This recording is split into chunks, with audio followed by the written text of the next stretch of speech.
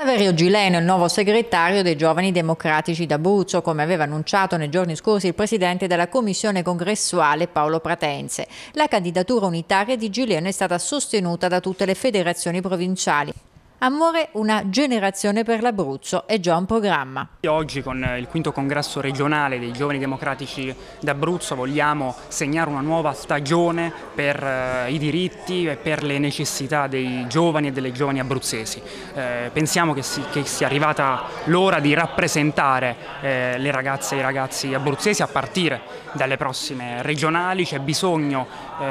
di una generazione eh, di under 30 che si occupi di questa regione, una regione che perde il 30% di studenti universitari negli ultimi eh, dieci anni, in cui l'emigrazione giovanile è altissima, c'è bisogno di impegnarsi per cambiare lo stato attuale delle cose a partire dall'università, dalla scuola, eh, dai diritti, dalla tutela eh, dell'ambiente. Con il congresso di oggi vogliamo eh, segnare un impegno nuovo dei giovani democratici per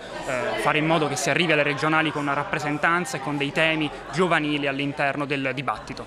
Tra i punti programmatici anche la lotta alla precarietà e la transizione ecologica. Se riguardo indietro a cosa, sta, cosa era tre anni fa, eh, vedo il quadro di un'organizzazione giovanile che sì era eh, attiva e voleva eh, cambiare il mondo, che poi è la, il nostro grande obiettivo, però a livello numerico era molto eh, ridotta, molto limitata. Oggi svolgiamo un congresso con 45 eh, delegati, con più di 100 giovani eh, compagni e compagni all'interno della nostra assemblea e soprattutto con una platea di iscritte e di iscritti rinnovata, grande in tutta la regione, in tutti i territori e soprattutto ci tengo a dirlo equamente distribuita fra uomini e donne che devono dare il loro contributo per un Abruzzo migliore.